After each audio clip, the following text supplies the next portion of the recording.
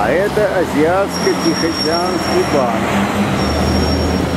Вид у него такой скромненький, но он стоит под мостом. И тут, наверное, имеется какой-то глубокий смысл. Ну вот сами ТТ прошел. Наверное, здесь что-то такое будет решать и договариваться. Ну и вот это вот интересно мне. Всегда нравятся эти окна. Ничего не вижу.